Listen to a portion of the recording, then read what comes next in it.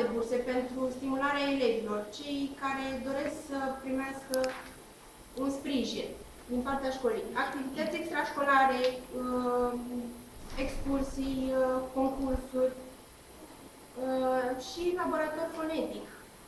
Înființarea unui laborator uh, fonetic.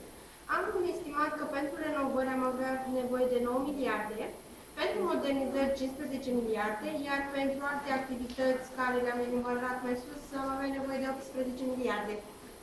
Totalul se încadrează în suma pe care... Se încadrează în suma pe care am estimat-o mai sus, 42 miliarde. Acum, v-aș întreba eu, ați văzut acolo în uh, schița voastră de proiect alocări pentru autoturisme? Eventual să o întreb pe doamna Bălășcău. Ei au cerut autoturisme. Și A și B. Nu știu dacă permite. A, este specific.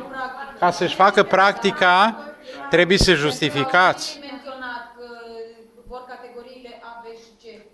Deci nu doar uh, B, C și D. B, C și D. Cele, cele pentru care obțineți permisul de...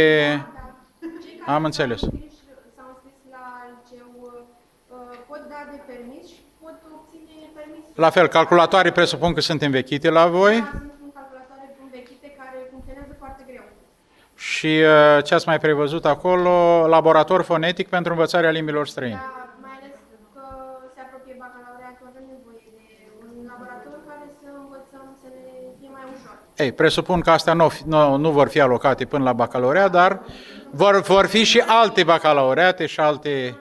Ok.